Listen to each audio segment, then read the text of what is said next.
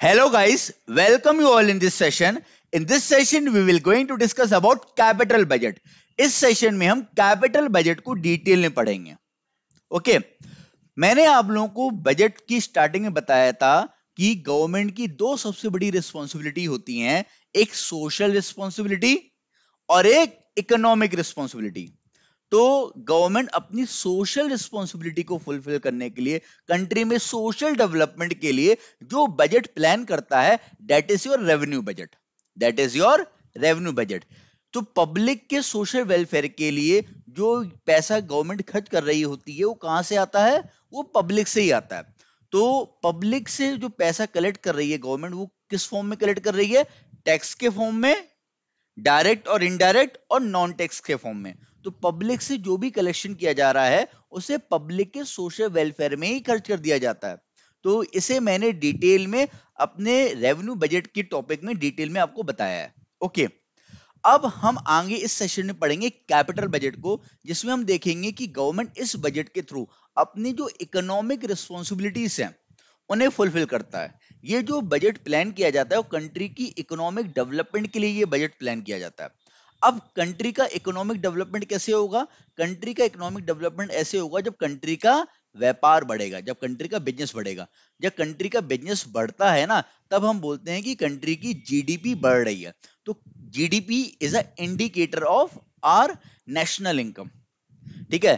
तो जब कंट्री की इनकम बढ़ती है तो हम बोलते हैं कि कंट्री की जीडीपी बढ़ रही है। GDP stand for gross domestic product तो जीडीपी जब बढ़ती है तो वो शो करती है कि कंट्री का व्यापार बढ़ रहा है और अगर जीडीपी कम हो रही है तो ये शो करती है कंट्री का व्यापार गिर रहा है। ओके तो हम यहाँ बात करें इकोनॉमिक डेवलपमेंट की तो ये जो बजट बनाया जाता है इकोनॉमिक डेवलपमेंट को ध्यान में रखते हुए बनाया जाता है और इकोनॉमिक डेवलपमेंट तब होगा जब कंट्री का व्यापार बढ़ेगा और जब कंट्री का व्यापार बढ़ेगा तो जीडीपी बढ़ेगी और अनएम्प्लॉयमेंट क्या होगा?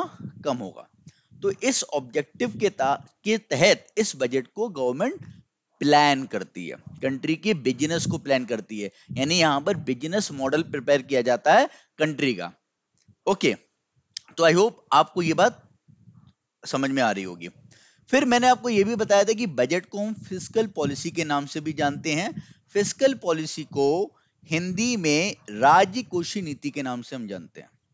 मैंने आपको बताया था कि गवर्नमेंट इकोनॉमी की करेक्शन के लिए इकोनॉमी में जो भी फ्लक्चुएशन हो रहे हैं, उन्हें बैलेंस में रखने के लिए, इकोनॉमिक ग्रोथ के लिए, इकोनॉमिक स्टेबिलिटी के लिए, आर्थिक स्थिरता के लिए फ़िज़िकल पॉलिसीज़ के टूल्स की मदद लेता है।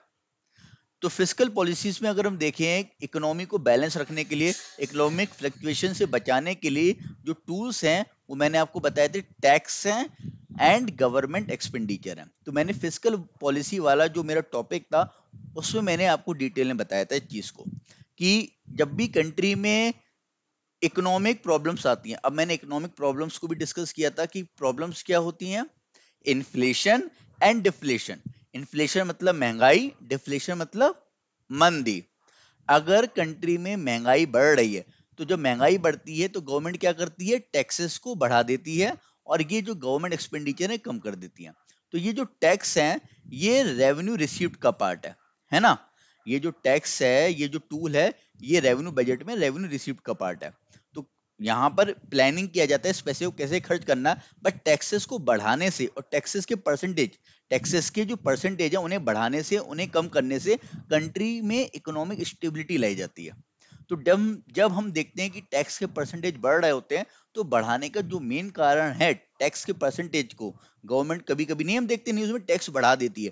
तो वो बढ़ा इसलिए रही होती है क्योंकि वहाँ पर कंट्री में इन्फ्लेशन होता है। तो महँगाई को कंट्रोल करने के लिए टैक्सेस को बढ़ाया जाता है और गवर्नमेंट एक्सपेंडिचर को कम किया जाता है। अब ये जो गवर्नमेंट एक्सपेंडिचर की बात हो रही है, ये कंट्री में जो गवर्नमेंट व्यापार को बढ़ाने के लिए खर्चा करता है ये जो गवर्नमेंट एक्सपेंडिचर है, ये कंट्री में व्यापार को बढ़ाने के लिए किए जाते हैं। तो मैंने आप लोगों को बताया था कि जब अनएम्प्लॉयमेंट कम होता है तो इन्फ्लेशन बढ़ता है। ठीक है ना? ये मैंने आप लोगों को फ़िज़िकल पॉलिसी वाले टॉपिक में अच्छे से बताया था। तो वही बात है कि ये कौन सा पैसा है गवर्नमेंट एक्सपेंडिचर व्यापार को बढ़ाने वाला। तो व्यापार को बढ़ाने वाला पैसा किसमें आता है? कैपिटल बजट में। तो व्यापार को बढ़ाने वाला जो पैसा है, ये कैपिटल बजट का पार्ट है। ठीक है? और ये जो पैसा है, इसे कम किया जाता है, जब कंट्री में महँगाई होती है। क्योंकि उस समय इंप्लॉयमेंट जनरेशन वाले प्रोग्राम गवर्नमेंट रन नहीं करेगा, ठीक है? उस समय कंट्री के व्यापार को नहीं बढ़ाएगा। कंट्री के अगर व्यापार को बढ़ाएगा, लोगों को जॉब देगा तो कंट्री में महँगाई बढ़ेगी।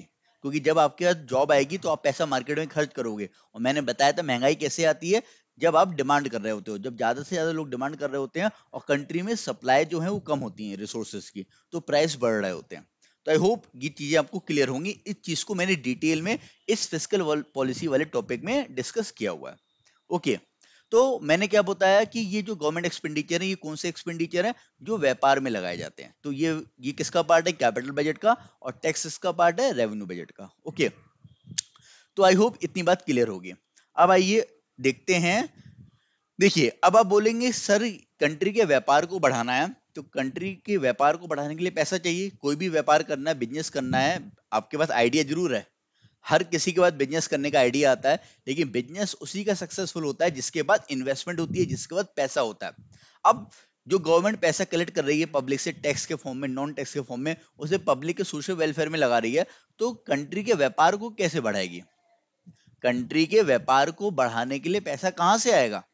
कैसे कंट्री में इंफ्रास्ट्रक्चर डेवलप किया जाएगा, कैसे कंट्री में बुलेट ट्रेन बनेगी, कैसे कंट्री में डिजिटल इंडिया को हम आगे ले जाएँगे।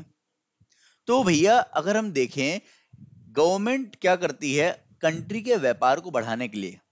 कंट्री के व्यापार को बढ़ाने के लिए क्या करती है? बोरोइंग्स करती है। क्या करती है? उधारियाँ लेती हैं।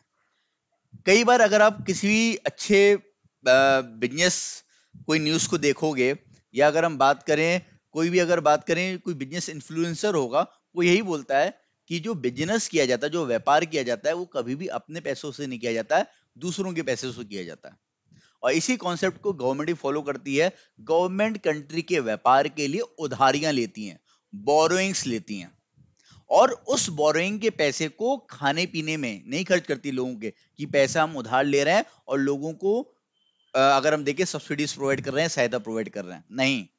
बोरोइंग का पैसा है, किसी से अगर हमने उधार लिया तो उसे ब्याज से ही लौटाना है। तो ब्याज सहित तभी हम लौटाएँगे जब उस पैसे का हम यूटिलाइजेशन करेंगे।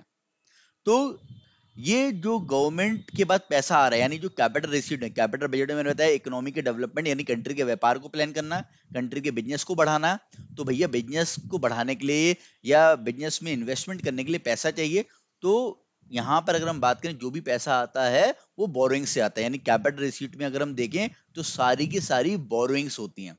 गवर्नमेंट अपने डेवलपमेंट प्रोजेक्ट के लिए, चाहे वो बुलेट ट्रेन का प्रोजेक्ट हो, चाहे वो मेट्रो का प्रोजेक्ट हो, चाहे वो आपका किसी भी हाईवे का प्रोजेक्ट हो थर्मल पावर प्लांट का प्रोजेक्ट हो, कोई भी ऐसा प्रोजेक्ट जो कंट्री में अगर हम बात करें, क्या क्या जनरेट कर रहा है? एम्प्लॉयमेंट जनरेट कर रहा है और साथ में अगर बात करें कंट्री के व्यापार को बढ़ाएगा। जब बुलेट ट्रेन बनेगी तो ऑब्वियसली बात है कि कंट्री का व्यापार बढ़ेगा। ठीक है ना? और कंट्री में रोज़गार भी लोगों को मिलेगा। यही तो ऑब्जेक्टिव है। ठीक है? तो इस ऑब्जेक्टिव को अचीव करने के लिए गवर्नमेंट क्या करती है? बोरिंग करती है। और गवर्नमेंट इस तरीके से बोरिंग करती है। गवर्नमेंट का ये रोड मैप रहता है इस बोरोइंग से कि अगर हमने 50 करोड़ का लोन लिया है तो इस 50 करोड़ से कंट्री में 500 करोड़ रुपए बनने चाहिए। यानी जो बिज़नेस जिस बिज़नेस या जिस व्यापार के लिए ये पैसा लिया जा रहा है, वो व्यापार एक्सपोनेंशियल ग्रोथ देनी चाहिए उस व्यापार को। एक्सपोनेंशियली ग्रो व्यापार भी बढ़े, साथ ही साथ इकोनॉमी भी बढ़े। ठीक है? तो आप खुद ही देखो, अगर हम बात करें, मान लीजिए मेट्रो का कोई प्रोजेक्ट लेते हैं तो जहाँ पर मेट्रो की लाइंस बढ़ रही होती हैं, वहाँ पे अलग ही अगर हम बात करें पूरा पूरी सिटी स्टेब्लिश हो जाती है। बहुत सारे लोगों को रोज़गार मिलने लगता है। ठीक है? तो उस मेट्रो के बनने से लोगों को जो कनेक्टिविटी की प्रॉब्लम थी, वो तो सॉल्व होती होती है। मेट्रो का भी अगर बात करें, लाभ होता है उसे ही प्रॉफिट होता है। साथ ही साथ अगर बात करें, उस एरिया में जब वो, जब मेट्रो जाती है उस एरिया से तो वहाँ पर अगर बात करें, उस एरिया में भी डेवलपमेंट होने लगता है। तो अगर बात करें, वहाँ पर अगर हम बात करें मल्टीप्लायर इफ़ेक्ट आता है। इससे अगर हम बात करें, बोलते हैं मल्टीप्लायर इफ़ेक्ट यानी इस तरीके से बजट को प्लान करना है कि वो मल्टीप्लायर इफ़ेक्ट लेके आए।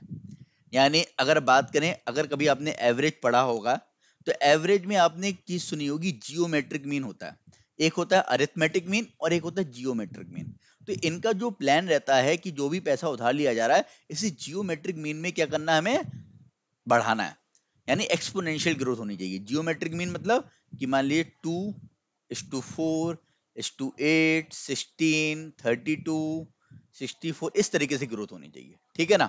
तो I hope you are getting my point तो यहाँ पर आई होप समझ में आ गया होगा कंट्री के व्यापार को प्लान किया जाता है.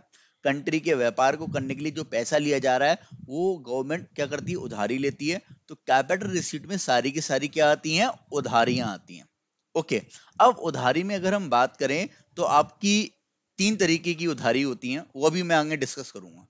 ठीक है ना? कहाँ कहाँ से गवर्नमेंट उधारी लेती है। और जो गवर्नमेंट पैसा उधार ले रही है, उस पैसे को कहाँ पे खर्च करती है? कंट्री में असेट क्रिएट करने में। क्या क्रिएट करने में? असेट। असेट्स क्या होते हैं वो मैंने बताया था। असेट उन चीज़ों को बोला जाता है जिससे अगर बात करें आपका रेवेन्यू जनरेट हो। तो मैंने ये बताया था ये रेवेन्यू एक्सपेंडिचर वाले सेशन में भी कि जो भी कलेक्शन यहाँ पर हो रहा है पब्लिक से, उसे किसी भी तरीके की असेट क्रिएशन में खर्च नहीं किया जाता। पब्लिक से जो कलेक्शन हो रहा है, वो पब्लिक के सोशल वेलफेयर में खर्च किया जाता है। असेट क्रिएशन में जो पैसा खर्च किया जाता है, वो बोरिंग्स वाला पैसा होता है। ठीक है? तो असेट्स क्या हो गई कंट्री की? बुलेट ट्रेन ठीक है?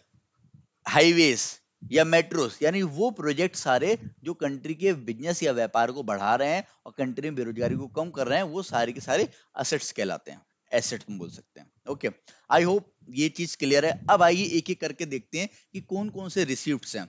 यानी मैंने बताया आपको कि गवर्नमेंट तीन तरीके से बोरिंग करती है। वो तीन तरीके कौन से हैं जहाँ तक गवर्नमेंट बोरिंग्स कर रही होती है कंट्री के डेवलपमेंट प्रोजेक्ट में पैसा इन्वेस्ट करने के लिए। ओके तो देखते हैं। तो कैपिटल रिसिप्ट की अगर हम बात करें तो कैपिटल रिसिप्ट अगर बात करें डेप्ट हो जाते हैं एक नॉन डेप्ट यानी डेप्ट का मतलब उधारी। गवर्नमेंट क्या कर रही? उधारी। और बिना उधारी के भी गवर्नमेंट के कुछ कलेक्शन होते हैं, वो भी हम देखेंगे। तो डेट्स मैंने आपको बताया है, एक तरीके से अगर बात करें लोन्स तो जो लोन्स होते हैं, उन्हीं को हम डेप्ट बोलते हैं। तो पहली अगर बात करें, जो लोन्स हैं, वो गवर्नमेंट तीन सोर्सेस से कलेक्ट करती है। तीन जगह से बोरो करती है। एक तो एक कहलाती हैं इंटरनल बोरिंग्स एक कहलाती हैं इंटरनल बोरिंग्स ओके फिर देन योर एक्सटर्नल बोरिंग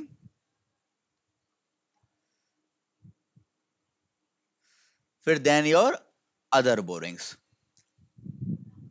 ठीक है?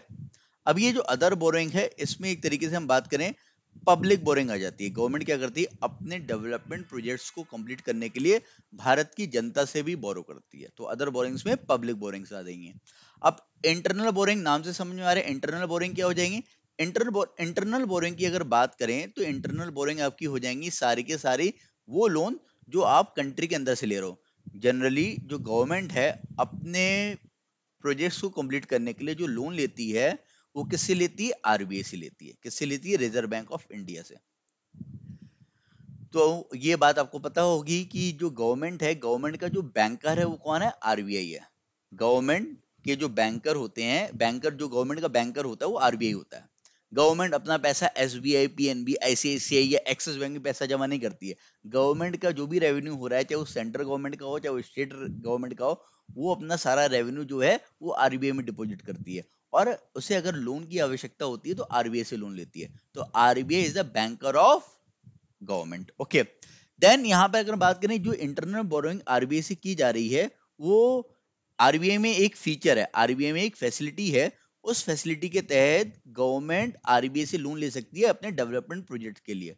और उस फैसिलिटी का नाम है डब्ल्यू एम ए ये डब्ल्यू एम ए जो वर्ड है, ये आपसे पेपर में कई बार पूछा भी गया और ये कई बार न्यूज़ में भी रहता है। कई बार वहाँ पे हेडलाइन uh, रहती है कि government has taken a loan from RBI under W M A facility of amount 500 crore of amount 5000 crore for this for this project for that project तो किसी प्रोजेक्ट के लिए अगर गवर्नमेंट लोन ले रही है आरबीआई से तो डब्ल्यू एम ए फैसिलिटी के तहत लेती है। चाहे वो सेंट्रल गवर्नमेंट लोन ले रही हो चाहे वो स्टेट गवर्नमेंट लोन ले रही हो सेंट्रल गवर्नमेंट चाहे लोन लेगी वो भी ए फैसिलिटी के तहत लेती है और स्टेट गवर्नमेंट भी अगर लोन लेती है अपने डेवलपमेंट प्रोजेक्ट के लिए तो वो भी ए फैसिलिटी के तहत लेती है। ए का फुल फॉर्म है वेस एंड मीन्स एडवांस फैसिलिटी तो ये वर्ड काफ़ी इंपॉर्टेंट है, ये फुल फॉर्म बहुत इंपॉर्टेंट है न्यूज़ में रहता है पेपर में आता भी है। तो इसका फुल फॉर्म पता होना चाहिए कि गवर्नमेंट जो आरबीआई से लोन लेती है, वो ए फैसिलिटी के तहत लेती है और इस फैसिलिटी को 1998 में इंट्रोड्यूस किया गया था। ओके तो डब्ल्यू फैसिलिटी के तहत गवर्नमेंट आरबीआई से लोन लेती है। जो गवर्नमेंट है वो आरबीआई से लोन लेती है for their development project okay तो I hope you are getting my point अब अगर हम बात कर, करें एक्सटर्नल बोरिंग्स की तो एक्सटर्नल बोरिंग्स में क्या आ जाएगा? समझ में आ रहा है एक्सटर्नल बोरिंग यानी हमने लोन लिया किससे? वर्ल्ड बैंक से। वर्ल्ड बैंक से कई बार न्यूज़ में सुना होगा आप लोगों ने कि वर्ल्ड बैंक से इंडिया ने इस प्रोजेक्ट के लिए मतलब पर्टिकुलर डैश कोई प्रोजेक्ट है, उस प्रोजेक्ट के लिए इतने अमाउंट का डॉलर का लोन लिया, ठीक है? या एडीबी से लोन लिया, या अगर हम बात करें आईएमएफ से लोन लिया, या अगर बात करें यूएस से लोन लिया, ठीक है? या अगर देखें तो हम किसी भी इंटरनेशनल कोई भी ऑर्गेनाइजेशन से अगर हम बात करें इंटरनेशनल ऑर्गेनाइजेशन हो, या कोई इंटरनेशनल अगर बात करें इंटरनेशनल कंट्री से, यानी इंडिया के बाहर से अगर हम अपने किसी प्रोजेक्ट के लिए लोन ले रहे हैं तो that is your external borrowing जैसे कि हमने जापान से लोन लिया हमने जापान से लोन लिया किसके लिए? बुलेट ट्रेन के लिए। ठीक है? तो जापान से जो हमने बुलेट ट्रेन के लिए लोन लिया है तो वो किसमें आ जाएगा? वो एक्सटर्नल बोरिंग्स में आएगा। तो I hope you are getting my point ठीक है? तो यहाँ पर हो गई इंटरनल बोरिंग और एक्सटर्नल बोरिंग क्लियर है। अब अदर बोरिंग्स की अगर बात करें, यानी पब्लिक से बोरिंग तो पब्लिक से जो गवर्नमेंट कलेक्शन कर रही होती है, जो पब्लिक से गवर्नमेंट कलेक्शन कर रही होती है, वो किस फॉर्म में करती है? तो वो करती है पीपीएफ के फॉर्म में। पीपीएफ सुना होगा पब्लिक प्रोविडेंट फंड आप लोग ने पीएफ के बारे में सबने सुना होगा। जब आप जॉब करते हो तो आपकी सैलरी में से पीएफ कटता है। या आप देख सकते हो अपने गार्जियन या फादर की जब वो लोग जॉब कर रहे होंगे तो आपने सुना होगा कि उनकी सैलरी में से भी पीएफ कट रहा होता है। तो पीएफ क्या होता है? पीएफ होता है प्रोविडेंट फंड और ये जो पैसा है, ये जब आप रिटायर्ड हो जाते हो, या आप जब जॉब छोड़ते हो पर्टिकुलर टाइम पीरियड के बाद तो आपको ब्याज सहित पैसा वापस मिल जाता है। मान लीजिए पीएफ में आपने सत्तर हज़ार रुपए जमा किए और आपने मान लो दो साल बाद जॉब छोड़ दी तो वहाँ पर आपको एक लाख रुपए मिल गया। तो वही बात है, सत्तर हज़ार के एक लाख कैसे हो गए? मैंने क्या बोला कि जो भी आपका पीएफ के फॉर्म में पैसा कट रहा है, उसे उसे आपको ब्याज सहित वापस कर दिया जाता है। तो पीएफ के फॉर्म में जो भी पैसा कट रहा होता है कंट्री के हर एक एम्प्लॉय का, वो पैसा सीधे गवर्नमेंट के पास जाता है। किसके पास जाता है? गवर्नमेंट के पास जाता है। और गवर्नमेंट इस पैसे को कहाँ यूज़ करता है? गवर्नमेंट इस पैसे को कंट्री के बिज़नेस में यूज़ करता है, कंट्री के व्यापार में लगाता है। भाई, ब्याज के सहित पैसा दे रहा है, कैसे दे रहा है? जब उस पैसे का यूटिलाइजेशन कर रहा है। आई होप ये भी चीज़ क्लियर होगी फिर स्मॉल सेविंग स्कीम्स होती हैं पोस्ट ऑफ़िस अगर आप चले जाओ तो गवर्नमेंट में, गवर्नमेंट की बहुत सारी स्कीमें चल रही होती है पोस्ट ऑफ़िस में, डाकघर में। स्मॉल सेविंग स्कीम्स हैं, या अगर बात करें, यहाँ पर अगर एक होती है किसान विकास पत्र। किसान विकास पत्र एक स्कीम है, जिसमें पैसा क्या हो जाता है? डबल हो जाता है।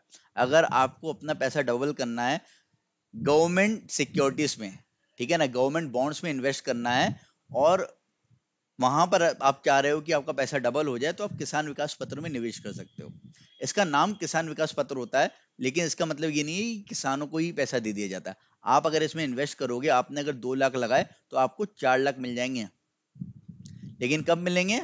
आफ्टर अगर बात करें, कुछ 123 मंथ्स के बाद, कुछ 123 महीनों के बाद आपको ये पैसा डबल होता है। तो किसान विकास पत्र में आपका पैसा डबल हो जाता है बट टाइम पीरियड ज़्यादा रहता है। तो यहाँ पर अगर हम देखें, एक तरीके से हम बोल सकते हैं, एक सिक्योर इन्वेस्टमेंट है। जैसे हम गवर्नमेंट जॉब की तैयारी क्यों करते हैं? क्योंकि हमें क्या चाहिए? सिक्योरिटी चाहिए। इसी तरीके से लोग गवर्नमेंट बॉन्ड्स पे इन्वेस्ट क्यों करते हैं? क्योंकि उन्हें अपनी इन्वेस्टमेंट में सिक्योरिटी चाहिए। बहुत सारे लोगों को लगता है कि म्यूचुअल फंड में लगाएँगे या स्टॉक मार्केट में पैसा लगाएँगे तो हमारा पैसा डूब जाएगा। तो लोग एक सेफ़ इन्वेस्टमेंट ढूंढ रहे होते हैं, बहुत सारे लोग होते हैं जो सेफ़ और सिक्योर इन्वेस्टमेंट करना चाहते हैं कि वहाँ पर उन्हें ज़ीरो परसेंट रिस्क हो, उनका एक भी पैसा ना डूबे और उन्हें ब्याज सहित पैसा मिले। तो वो गवर्नमेंट सिक्योरिटीज में इन्वेस्ट करते हैं। तो स्मॉल सेविंग स्कीम्स होती हैं, ठीक है, जिसमें लोग इन्वेस्ट करते हैं, किसान विकास पत्र हैं, नेशनल सेविंग स्कीम्स होती हैं, बहुत सारे गवर्नमेंट बॉन्ड्स होते हैं जिसमें लोग निवेश करते हैं और वो जो लोग निवेश कर रहे होते हैं, उस पैसे को गवर्नमेंट क्या करती है, अपने किसी डेवलपमेंट प्रोजेक्ट में यूज़ करती है और फिर बाद में उन्हें ब्याज के साथ पैसा लौटा देती है। तो आई होप आपको ये बात क्लियर हो रही होगी। ठीक है? तो यहाँ पर आई थिंक ये डेप्ट क्लियर हो गया होगा कि यहाँ पे सारे के सारे इंटरनल एक्सटर्नल और पब्लिक बोरिंग्स आ जाती हैं। अब नॉन डेप्ट की बात करें तो नॉन डेप्ट में आपका डिस इन्वेस्टमेंट आ जाता है। ये वर्ड भी काफ़ी हमने सुना हुआ है। डिस इन्वेस्टमेंट अगर हम देखें तो अभी लास्ट ईयर बजट में अनाउंस किया गया था या इस ईयर भी बजट में अनाउंस किया गया था गवर्नमेंट ने अनाउंस किया था कि LIC के वो क्या करेंगे? शेयर्स सेल करेंगे। ये आप लोगों ने सुना होगा कि LIC के शेयर्स बेचने की बात चल रही थी। या गवर्नमेंट बोलती भी है कि वो अपनी बहुत सारी कंपनियों की क्या कर देंगे? शेयर सेल कर देंगे। तो डिसइन्वेस्टमेंट में क्या होता है कि गवर्नमेंट अपने शेयर सेल कर रही होती है। क्या होता है? डिसइन्वेस्टमेंट में गवर्नमेंट जो है वो शेयर्स को सेल कर रही होती है। तो शेयर्स का मतलब क्या हो गया? हिस्सेदारी। तो जब गवर्नमेंट अपनी हिस्सेदारी बेचती है तो उससे जो भी कलेक्शन होता है, उससे जो भी कलेक्शन होता है उसे कंट्री के डेवलपमेंट में यूज़ करती है। फॉर एग्ज़ाम्पल गवर्नमेंट अपनी किसी कंपनी के शेयर बेच रही है। जैसे गवर्नमेंट ने बोला कि वो एलआईसी के शेयर बेचेगी तो एलआईसी के टेन परसेंट शेयर बेच रही है। और ये टेन परसेंट शेयर वो बेचेगी किसी पब्लिक को, और इसे बेच के गवर्नमेंट कुछ नब्बे हज़ार करोड़ रुपए कलेक्ट करेगी। गवर्नमेंट ने बोला, भैया, अब ये काफ़ी बड़ी अमाउंट है। अब नब्बे हज़ार करोड़ रुपए जो गवर्नमेंट कलेक्ट करेगी तो इसे किसी डेवलपमेंट प्रोजेक्ट में लगाएगी। ठीक है? तो वो अपने किसी एग्जिस्टिंग बिज़नेस जो रनिंग बिज़नेस है, जो अच्छा खासा चल रहा है, उसके कुछ परसेंटेज पार्ट बेच के पैसा कलेक्ट करती है और दूसरे बिज़नेस में लगा रही होती है। तो LIC अगर बात करें गवर्नमेंट ऑफ़ इंडिया की एंटिटी है, दस परसेंट शेयर बेचने से अगर हम बात करें गवर्नमेंट ऑफ़ इंडिया की ओनरशिप नहीं जाएगी। गवर्नमेंट ऑफ़ इंडिया के पास कितने परसेंट शेयर है? नाइनटी परसेंट शेयर है। तो ओनरशिप किसकी है? गवर्नमेंट ऑफ़ इंडिया की। हाँ ओनरशिप तब जाती है जब गवर्नमेंट ऑफ़ इंडिया अब 51 परसेंट शेयर बेच दे अगर गवर्नमेंट ऑफ़ इंडिया किसी अपनी गवर्नमेंट कंपनीज़ के अब 51 परसेंट शेयर बेच दे तो that is known as privatisation that is known as privatisation अगर गवर्नमेंट अपनी किसी कंपनी के इक्यावन प्रतिशत से ऊपर शेयर बेच रही है तो प्राइवेटाइजेशन कहलाएगा। और अगर अप टू 50 परसेंट तक बेच रही है तो वो डिसइन्वेस्टमेंट कहलाएगा। क्योंकि उसमें जो शेयर का परसेंटेज है, वो किसका ज़्यादा रहेगा? गवर्नमेंट का। तो आई होप ये भी चीज़ क्लियर हो रही होगी कि यहाँ पर गवर्नमेंट बहुत सारी अपनी जो कंपनीज़ हैं, उनके शेयर सेल करके फंड रेज करती है और उसे डेवलपमेंट प्रोजेक्ट में उन पैसे को लगा रही होती है। यानी फर्दर और डेवलपमेंट जो प्रोजेक्ट्स हैं, उनमें पैसों की आवश्यकता होती है तो उसमें वो पैसा खर्च कर रही होती है, जिससे कंट्री में ऑब्वियस आता है। जब इन्वेस्टमेंट होगी तो कंट्री का बिज़नेस व्यापार बढ़ेगा और अनएम्प्लॉयमेंट कम होगा। तो कंट्री की अगर बात करें, जरूरतों को देखते हुए ये सारे स्टेप लिए जाते हैं। तो आई होप ये क्लियर हो गया होगा कैपिटल रिसीट में गवर्नमेंट के पास पैसा कहाँ से आ रहा है। ठीक है? अब ये जो पैसा गवर्नमेंट कलेक्ट कर रही है, मैंने बताया इसे कहाँ खर्च किया जाता है? इसे खर्च किया जाता है to create an asset it creates an asset और रिड्यूस अ लाइबिलिटी तो ऑब्वियसली बात है लाइबिलिटी क्या हो गई? कि जो भी गवर्नमेंट ने उधारी ली है उस उधारी को भी चुकाता है। अब आप समझो कि अगर हमने बुलेट ट्रेन के लिए नब्बे हज़ार करोड़ रुपए का लोन लिया है किससे? जापान से। तो हमें जापान को लौटाना ही पड़ेगा विद ब्याज विद इंटरेस्ट और जापान ने बोला, जापान ने इंटरेस्ट भी बहुत कम चार्ज किया। तो जापान ने बोला कि आपको टोटल एक लाख दस हज़ार करोड़ रुपए लौटाने हैं। तो आप देखो, जब बुलेट ट्रेन बनेगी तो ऑब्वियस ही बात है, लाखों लोगों को रोज़गार मिलेगा। और जब वो चलेगी तो रेवेन्यू जनरेट करेगी। और रेवेन्यू जनरेट करेगी तो जो भी उसने उधारी ली है, ब्याज के साथ वो वापस करेगी और जनरेशन टू जनरेशन लोगों को रोज़गार देगी। अब बुलेट ट्रेन जब बनेगी तो एक बुलेट ट्रेन तो बनेगी नहीं। भाई, ये जो नब्बे हज़ार करोड़ रुपए लिए गए हैं, ये सिर्फ़ एक पर्टिकुलर लाइन के लिए लिए गए हैं। एक बुलेट ट्रेन के लिए लिए गए हैं और वो लिए गए हैं, वो जो बुलेट ट्रेन चलेगी वो आपकी अहमदाबाद से मुंबई चलेगी, ठीक है? लेकिन वही बात है कि जब वो टेक्नोलॉजी हमारे पास आ जाएगी, जब हम सीख जाएँगे, जब हमारे लोग बनाना सीख जाएँगे जब वो हम नॉलेज गेन कर लेंगे, तब हम वो एक बुलेट ट्रेन नहीं बनाएँगे, हम दस बुलेट ट्रेन बनाएँगे। जब आपको नॉलेज हो जाती किसी पर्टिकुलर फ़ील्ड की, तब आप उसमें क्या करते हो? एक्सपोनेंशियली ग्रोथ करते हो। तो यहाँ पर अगर हम देखें, जब वो टेक्नोलॉजी आएगी तो ऑब्वियसली आता है, हमारे लोग सीखेंगे। और भी वहाँ पर अगर बात करें, ये तो एक लाइन बनेगी, फिर बाद में गवर्नमेंट धीरे धीरे और भी प्रोजेक्ट प्लान करेगी। और ये एक काफ़ी एक्सपेंसिव प्रोजेक्ट होता है और काफ़ी अगर बात करें बड़ा प्रोजेक्ट है तो इससे अगर देखें तो बहुत सारे लोगों को रोज़गार भी मिलता है। तो वही बात है कि धीरे धीरे गवर्नमेंट अगर बात करें, इसी प्रोजेक्ट से क्या करेगी, अपनी असेट भी क्रिएट कर रही है, यानी लोगों को रोज़गार भी दे रही है और अपनी उधारी भी जो है, उसे भी क्या कर रही है, चुकता कर रही है। ठीक है? तो आई होप समझ में आ रहा होगा कि लोन का पैसा है, ब्याज किसे लौटाना है तो इस पैसे को कहाँ यूज़ करना है, इस पैसे को वहाँ यूज़ करना है, जिससे आपकी इनकम हो, आय हो। ठीक है? तो इस पैसे को कहाँ खर्च करेंगे? रोड्स एंड हाईवेज में हाईवेज क्रिएट किए जाते हैं। ओके, इंफ्रास्ट्रक्चर क्रिएट किया जाता है। बुलेट ट्रेन जैसे प्रोजेक्ट्स होते हैं, मेट्रो के प्रोजेक्ट हो गए या रीपेमेंट ऑफ़ लोन्स हो गए, इन प्रोजेक्ट में ये पैसा खर्च किया जाता है, जिससे अगर बात करें, कंट्री का डेवलपमेंट हो, कंट्री का व्यापार बढ़े। आई होप ये पिक्चर क्लियर होगी। और व्यापार बढ़ने से जो गवर्नमेंट की इकोनॉमिक रिस्पॉन्सिबिलिटी है वो फुलफिल होती है। और यहाँ पर हम देखें तो हमने डिटेल में डिटेल में हमने पूरे बजट को देख लिया कि गवर्नमेंट की सोशल रिस्पॉन्सिबिलिटी क्या होती है गवर्नमेंट की इकोनॉमिक रिस्पॉन्सिबिलिटी क्या होती है, किस तरीके से गवर्नमेंट बजट प्लान करती है, किस तरीके से उस पैसे को खर्च करती है। आई होप ये सारी चीज़ें आपको अच्छे से समझ में आ गई होंगी। अब कभी भी आप बजट पढ़ोगे या देखोगे गवर्नमेंट के प्लान्स को समझोगे मतलब न्यूज़ देखोगे तो आपको समझ में आ रहा होगा कि गवर्नमेंट किस तरीके से कंट्री के डेवलपमेंट को प्लान कर रही है। ठीक है? तो इस सेशन को हम यही खत्म करते हैं। कुछ और पार्ट रह गया इसका, जो हम अपना आगे नेक्स्ट सेशन में कवर करेंगे। Okay thank you